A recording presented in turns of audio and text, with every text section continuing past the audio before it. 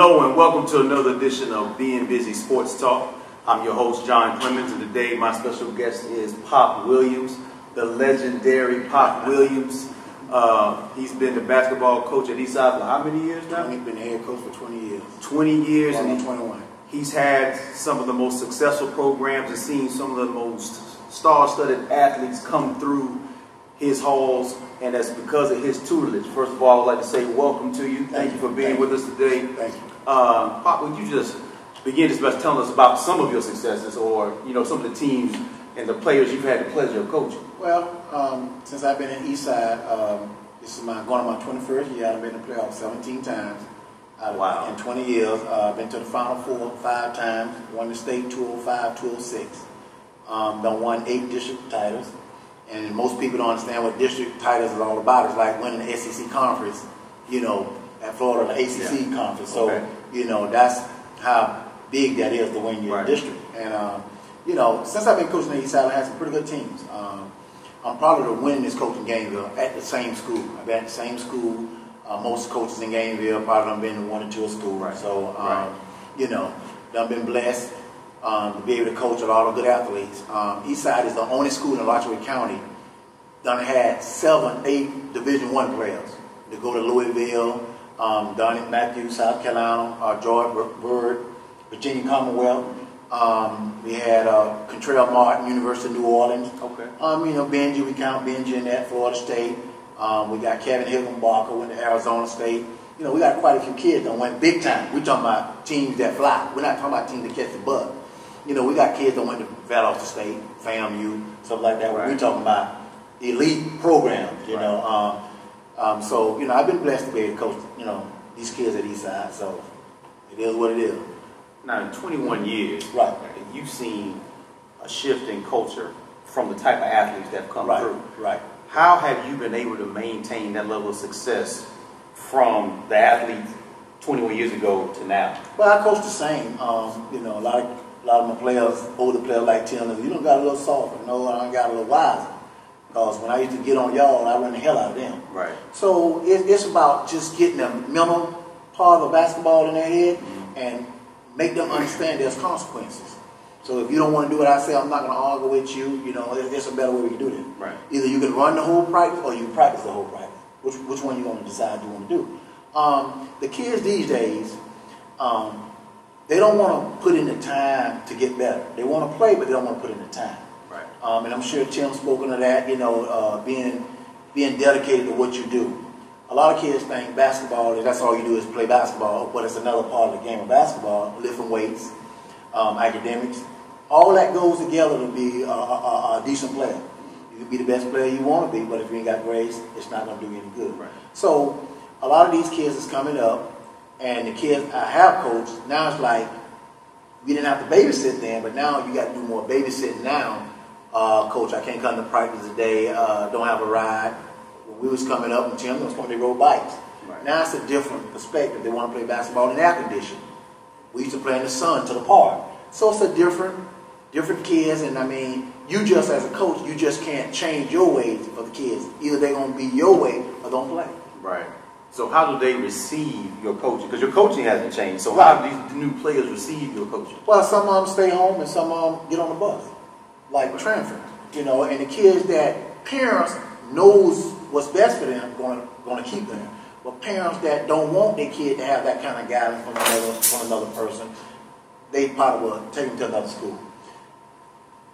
I'm going to only coach the kid that goes to the East Side. I'm not going to worry about the kid that's leaving Right. because what about the next man up? Yeah. He's deserved that same chance that the guy, the guy that was you was given that opportunity to. He might even step up and be better, you know, better kid attitude. You don't have to worry about teachers in the class, you know, telling you something. So it's really, it, it's it's really a plus. You know, I mean, you might not have the greatest season, but you still can get at that goal, you know, to, to win. Now, beyond just there being a different type of player, Uh-huh. what are some of the challenges you are having to overcome? Well, just overall, challenges as a coach you have to overcome beyond basketball in order to get that same product consistently on the court. Well, you know, a lot of the younger kids that I coach, you know, they, they need attention. You know, some of them don't have both parents there, and, you know, they want somebody to talk to. They need a coach to talk to. And I'm a person that you can call me all time of night, in which I have kids call me and they want to know how can they get their calves big, or because they don't have a father there, to kind of to kind of take them through the, the program. Right. So to be able to coach, you got to be able to be like the kids. Okay. There's a business part and there's a playing part. A kid can play better for you if he feel like you with him. Okay. But then between the lines of basketball, that's my job. So when they get on the court, they know that's my job. It's not going to be like we friends.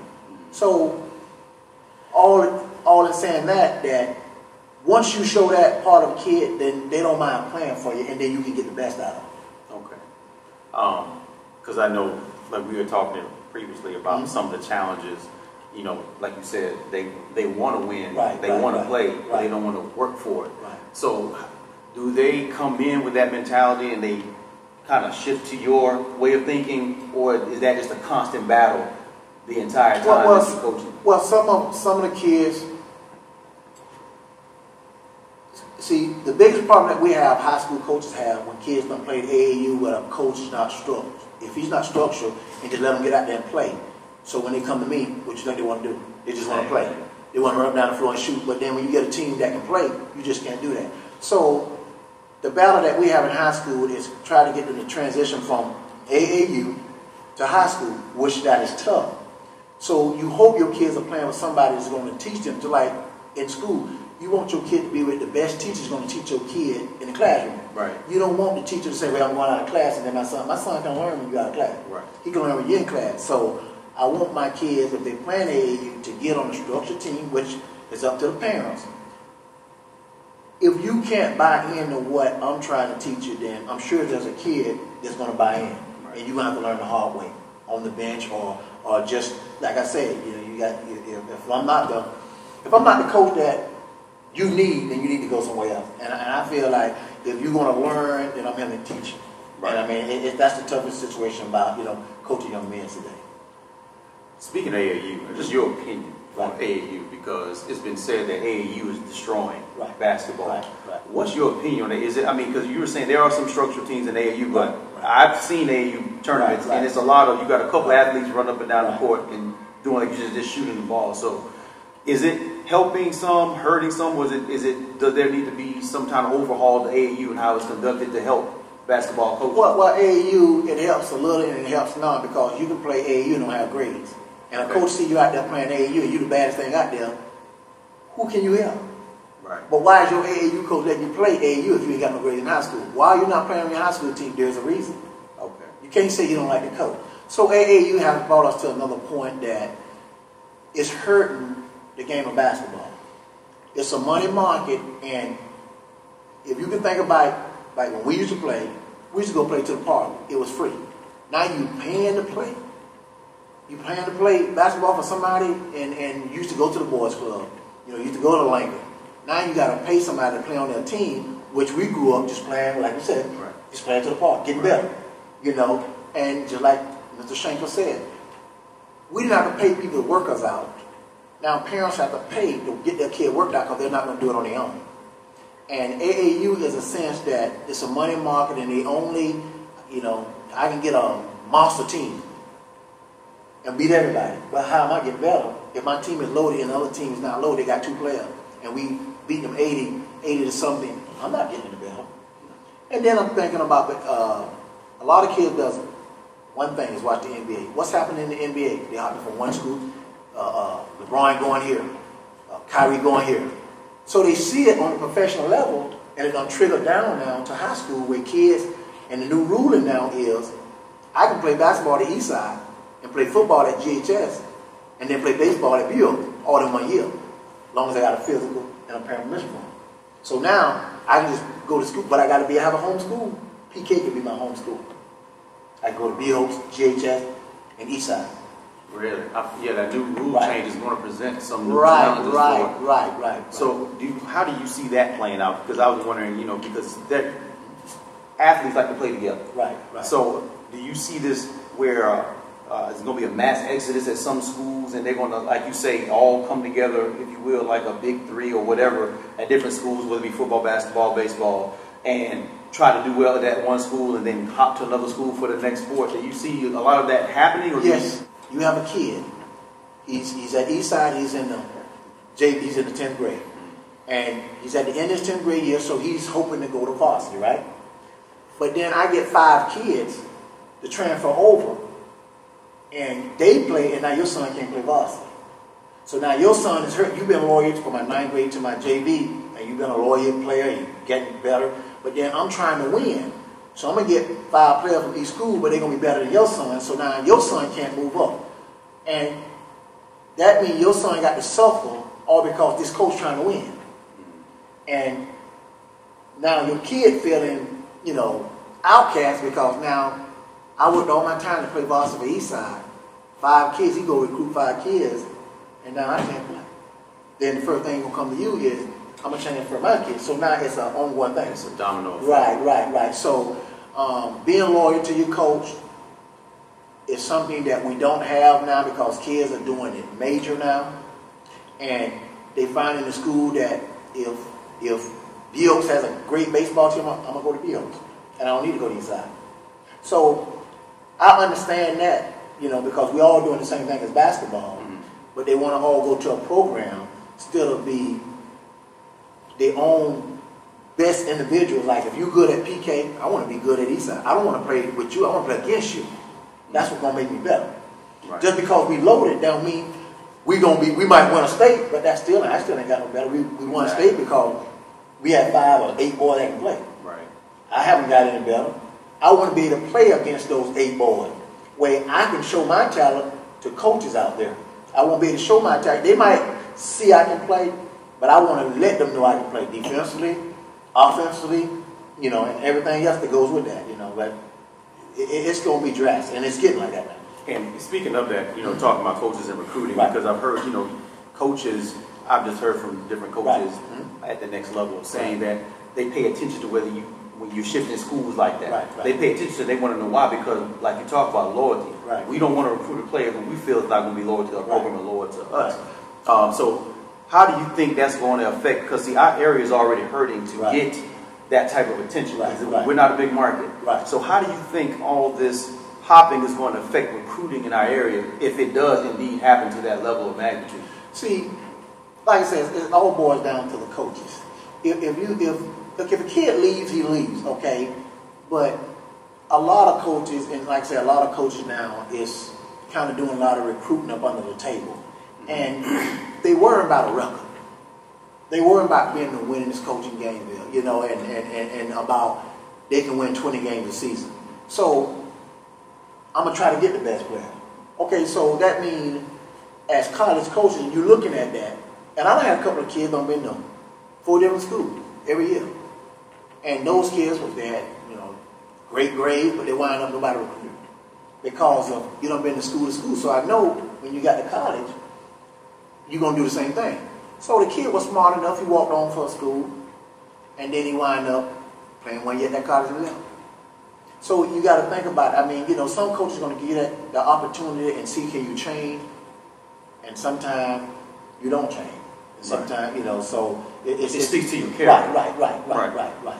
And see, that's what I think a lot of folks don't understand, you know, because they, they see this this move by the state of Florida as a good Right, one, right. but I see it as it's going to be a problem because some schools are going to suffer greatly from it. Right, Others right. may benefit from a record standpoint. Right, Or like you said, are those athletes being developed? It's the same thing I say to athletes who are trying to go to school. You don't necessarily go to that shiny diamond school like an Alabama. Football is Alabama or another SEC Right, school, you have to look at what's the best situation for you and your development right. based on what your goals are for yourself. Right. So bringing it down to this level is dangerous because these Right. kids are far more impressionable. Right. You know, and like by their friends or by you know family saying you Right. need to go here and so forth and whatnot, Right. and it may end up to that detriment. By the, but by the time they realize it's too late. Right. Um, as a coach, I mean, how do you combat that, or what do you feel any pressure, added pressure because of this new dynamic that's been created? Well, not really, because if, if you get into that situation and you worry about that, then you won't be able to coach because, I mean, our job is to teach. And I got to teach the next man. Right. If I'm sitting there worrying about a kid that's going to leave, I'm not being fair to your son. I mean, I got to get your son ready. And if he go down with a broke leg, I still got to get somebody to replace him. Right. But he left. So I mm-hmm. still got to get somebody to replace him. So as a coach, you got to prepare yourself to be able to work with the next man.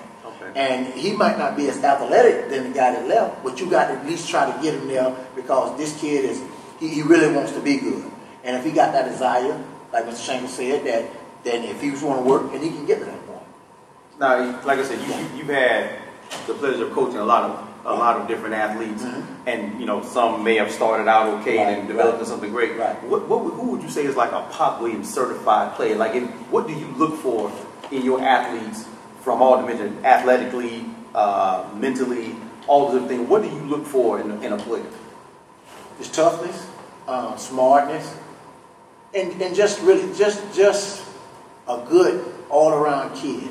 Um, back in the day, we had Don, Donnie Matthews. I'm sure Donnie played for South Carolina. Um, Donnie was kind of like an image of me because when I went to play, he went with me, and everybody used to think that was my son because, but he played just like you. And Donnie was one of those um, kids that was, I mean, he get in work, and I mean, he had that heart. The next kid came down was Dante had that killer, can play, had that attitude, didn't want to lose, tough, no. And you look at both of those guys, they were D1 players. And they really, they really, and Tim, Tim, Tim was one of those kids that, you know, really wanted to win and, and controlled it. You know, controlled it because Tim, when, when we was, our first time we went to the Final Four, Tim was a freshman. Uh, We went to the Final Four. As a senior, we won state with Tim. And Tim came in and started as a point guard. Uh-huh. So um, that hard nosed defensive type of kid that you don't want to step back from nobody and just get out there and play. is it difficult to find those type of type players these days? Yeah, yeah, yeah, yeah, yeah, yeah. You just, like I said, that comes from because they're not playing with the old men. They playing with the young guys that they grew up with, and then they think they, and then when they meet against a grown man that can play, they gonna shy away because they ain't seen nothing like that. Yeah. And that's the difference. They want to play in that condition. They want to play with their buddies. And then when they play with somebody across the line, they can't play because they don't play with their buddies too much. So they don't have that heart to go out there and compete because their buddy ain't gonna yell at them or ain't Right. gonna get them. And see, I, I, that uh, that's a problem across all sports. Right, right, you know, this right. generation, like everybody gets a trophy Right. generation. Right, now. right, right, It- right. It's, it's affecting the quality of the game Right.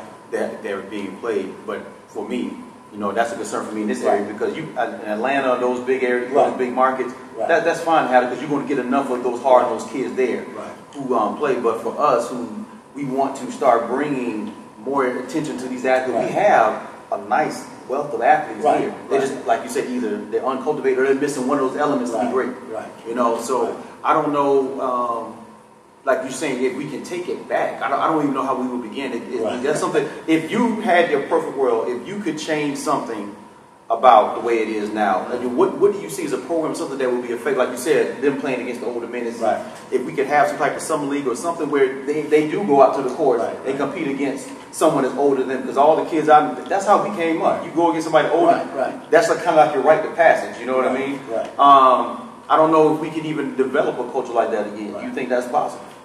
Well, it's possible, but the point is like um, Littlewood. You know, it's older guys go out there, they can play out there, but they don't want to get out there and play with the older guys. They worry about the language in the older guys. But if you respect the young man, it doesn't matter what they saying out there, how they you going out there playing and getting Right. better. They scared of you know the language that you know because it ain't all good language they're using out there, the older guys. So they'll bear away from. They they rather go the MLK way. It's mellow out. Right. It's it's an opportunity there, but they don't want to take it. Wow. Um, as a coach, like I said, you've been coaching for a long time, and like I said, it's it's, it's frustrating Right. from all levels. What keeps you motivated? I mean, to, to do this year after year after year. Well, you see a kid that has a dream, and I had a dream, and, and my dream was to be a head coach. I used to always listen at what everybody said, man, you'll never be a head coach because you don't have a college degree. And I always used to think that, but I never gave up. And when I got the opportunity, I feel like when I got the opportunity to be a head coach, I was going to make sure that kids live your dream, never give up, because you're going to have that same opportunity. It might not be a coach, it might be a player, it might be a coach, it might be a doctor, it might be. Don't give up on the dream that you always had. So when I look at young men, that's what I see, a dream. And every kid that you coach got a great story. he can tell that story. You know, we hit on the NFL and NBA. But then when you look in the face of young men, and say don't get in trouble. I mean, and, and just want to do it. They might not have the heart, but you can see in their face. They want to be something. Yeah. They just got to give a little more extra to, to get there, and it's not going to be easy. And that's what keeps me doing. Now you uh, can you think of a player because you've had some players who had that dog in them. Can you think of a player that you thought wasn't going to be much of nothing, but then after a while you, saw that he probably had some hunger, probably was just green, but then you see them go from just being an okay player to actually being one of your, I guess, your starters or one of the players that you depended on. Somebody, if you get sad, then also do you get more satisfaction out of developing one of those players or uh, working with one of those guys who already had that, like you said, that had the kind of like a, a mirror image of you, Right, right. like that dog. And which one? Well, I can coach any, you know, when I coach, I don't, I don't hold a kid back. If he can score, he can score. You know, I, I, I'm a, I'm a believer. Of, if you want to score, you got to run the floor with me. I mean, if, if I'm by myself, I'm gonna shoot. But if you run with me, I'm gonna get you in the play. My offense is considered of every it's making reads like everybody. I, my four, my four man is not gonna be a post player all the time. You have to be pop away from the basket and score because in Gainesville, everybody's guards on the next level. Yeah. Look at it, man. Everybody around here 6'10. Right. So everybody are point guards and two. So that means if you got a forward, he's 6'5, on the next level, you're a point guard. So you want to display their ability to be able to shoot away from the basket and put the ball in the floor. So it's like, I'm not going to handicap them in the game of basketball. So you can be me or you can be Tim, a ball handler, whatever. You got to display that. And I'm going to get confidence in every kid that goes out there and, and feel free to do what you want to do. That's how you win. You don't win by keeping kids in boxes. So yeah, you, you coach them, but you coach them to be who they are, Right. not who you want them to be. I mean, you want to coach them to, in your system, but you allow them to Right, be who they right, are right. And you know what I always tell Nice them? coaching point. You know, you Yeah. know what I tell them? Y'all can play with us because y'all get mad because us shoot, we shoot. Y'all have wide open shots to give them away. So y'all can play with us because y'all wonder why we shoot. We wide open. We ain't finna pass to you. Right. Why would we give it up to you and we open? Yeah. Now when we cover, you'll get it. What you mean, coach? I said because that's how you play. Why give up a shot if you wide open? Playing attack mode. Right, right. I say, I mean, that's the NBA is all about scoring. Mm-hmm. They teach you defense in the NBA. All the NBA players are scoring. You might have two or three under rebound. They getting all that money just a rebound. But majority of them are scorers. They're not in there to have 100 assists. It's about that excitement. Right. That's what. And, and college like that. That's why me and Coach Donovan came in the same time in Florida. And and I, and I use Billy as a because Billy been in Florida had been in Florida for like 20. Uh, he might have been 19, but we came in at the same time. Billy has 19. He had 19 boys in, in, in NBA, and that wasn't because because all the kids that he had were scorers. Billy knew to get you in the league, it was about scoring. Yeah. That, that ain't no luck there, you know what I'm saying? Though, and if you look at Florida, all them boys, and they all played the same position, pretty much the three spot, Mhm. and it was scoring. That's it. Wow. Yeah, that, that's a good coaching point. Right. Well, Coach, I really appreciate your time with us today and the, the knowledge that you dropped. Uh, definitely want to thank you for being a staple in this community, Thank giving you. back to these young men. You've been a father figure to a lot of young men who walk these halls, and basically they've gone on, and some of them are coaching, while a lot of them are mentoring young men the same way that you continue to do it. So, you know, God bless you. I I pray that you can do it for another 15, 20 years.